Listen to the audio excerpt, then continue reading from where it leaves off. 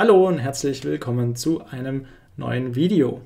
Heute geht's los mit einer neuen Videoreihe. Die Videoreihe behandelt Firebase. Firebase ist ein umfangreiches Tool von Google bereitgestellt auf Basis der Google Cloud.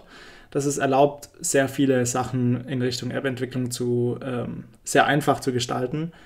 Und deswegen in dieser Videoreihe alles über Firebase, äh, von einmal von vorne bis hinten durch.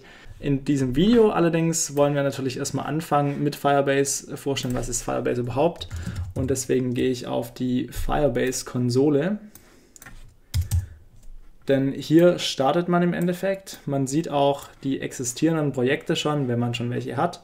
Ansonsten sieht man hier einfach nur diesen, diesen leeren Reiter mit Projekt hinzufügen.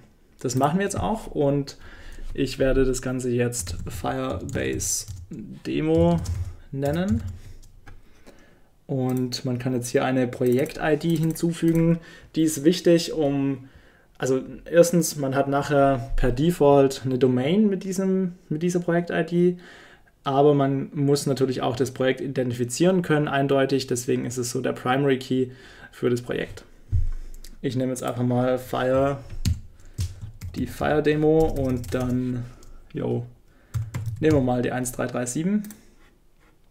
Das heißt, unser, unser Projekt-ID wird fire-demo-1337 sein. Und hier kann man jetzt die Organisation noch auswählen. Man kann sie aber auch, ähm, ja, man kann auch eine andere nehmen. So, äh, Google Analytics wollen wir natürlich auch haben, denn in, diesem, in dieser Videoreihe wollen wir alles vor, äh, vorstellen, was es so gibt bei Firebase. Und deswegen aktivieren wir hier ähm, Google Analytics. So, jetzt kann man noch das Default-Konto nehmen, den Default-Account für Firebase oder ein anderes nehmen und automatisch ein neues Property erstellen. Das ist wichtig für Google Analytics, denn wenn man kein neues Property erstellt, dann die, wird der Traffic äh, auf ein bestehendes Property hinzugefügt. So, ähm, dann kann man auch schon auf Projekt erstellen klicken und Dafür braucht man jetzt noch kein Video. Ich denke, das äh, Interessante kommt dann, wenn wir zum Beispiel handeln, behandeln, wie wir ähm, mit Firebase Authentifizierung handeln, wie wir eine NoSQL-Datenbank haben, wie wir äh, Bilder hochladen können. Das Ganze von Frontend bis Backend. Das ist ähnlich wie eine äh, Videoreihe, die ich schon mal gemacht habe. Die hieß, glaube ich, damals App to Server Communication. Und ja, heute ist einfach so die Fortsetzung davon im Jahr 2021. Da hat sich natürlich viel getan. Und wir sehen jetzt das Dashboard von der Firebase-Konsole. Also hier ist praktisch so der Landing Screen und man sieht jetzt schon, links gibt es sehr viele Optionen, die man machen kann. Es gibt Authentifizierung, äh, man kann sich sehr einfach authentifizieren mit Firebase. Man kann also eine Authentifizierung anbieten. Mit der Firestore Database kann man dann, äh, wie schon angesprochen, eine NoSQL-Datenbank sehr gut handeln. In der Realtime Database kann man sowas wie einen Chat handeln. Storage ist, ja, wie der Name schon sagt, dafür da, um was zu speichern. Man kann Bilder hochladen, auch Videos, ähm, sehr viel hochladen und alles wird eigentlich gemanagt. Hosting ist auch ein interessanter Reiter. Ähm, Im Hosting kann man verschiedene Projekte, äh, Entschuldigung, verschiedene Webseiten auch in einem Projekt deployen und bereitstellen. Man kann auch ähm, eine, eine, andere Domain hinzufügen. All das können wir auch noch besprechen. Und was auch sehr interessant ist, sind die Firebase Functions. Firebase Functions sind, ja, man kann so ein bisschen sagen, der, der, der newest shit. So, ähm, es ist so im Endeffekt Serverless Computing.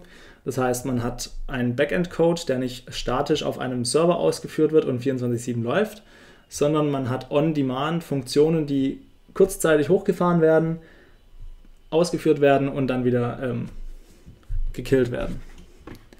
Ja, man hat auch noch sogenanntes Machine Learning ähm, Reiter hier, ist allerdings noch ein bisschen, naja, wie gesagt, wir behandeln auch die Dinge, die man vielleicht nicht mit Firebase macht. Was man natürlich auch machen kann, ist äh, Analytics mit Google äh, ist natürlich schon prädestiniert dafür, auch mit Firebase zu benutzen. Und äh, die, die restlichen Reiter, die werden wir dann wann anders mal behandeln. man sieht ja schon, man kann hier sehr coole Sachen machen, auch mit In-App-Messaging. Man kann innerhalb von ein paar Minuten eine Chat-App entwickeln, in Anführungszeichen. Und das Ganze auch extrem günstig. Das ist das Letzte, auf das ich jetzt eingehen will in diesem Video noch. Die äh, Pläne. Man kann hier nämlich einen kostenlosen Plan und einen Pay-as-you-go-Plan auswählen. Und hier ist auch so ein bisschen der, der große Vorteil von großen Cloud-Anbietern. Die bieten einfach die Möglichkeit, sehr kostengünstig zu starten. Man kann wirklich zum Nulltarif entwickeln und äh, sehr viel schon von moderner Softwareentwicklung benutzen, ohne was dafür zu zahlen. Äh, das Ganze gibt es auch von Amazon sicherlich. Das Ganze gibt es sicherlich auch von Azure. Äh, schreibt mir gerne in die Kommentare, was es da so an Alternativen gibt. Ich bin auch immer offen für neue Vorschläge, vielleicht mal einen Vergleich. Firebase versus AWS. Deren Framework kenne ich jetzt gar nicht, also ich kenne den Namen nicht. Ähm, ja, da, da gibt es sicherlich auch interessante Vergleiche. Und im nächsten Video werden wir dann, dann auch einsteigen, kleinzeitig, und es wird dann mehr Entwicklung werden, wie man jetzt mit Firebase ganz konkret anhand einer Applikation, die auch dann wirklich gehostet werden kann, starten kann. Vielen Dank fürs Zuschauen. Nicht vergessen, abonnieren, Glocke aktivieren und dann hören wir uns und sehen wir uns im nächsten Video. Ciao!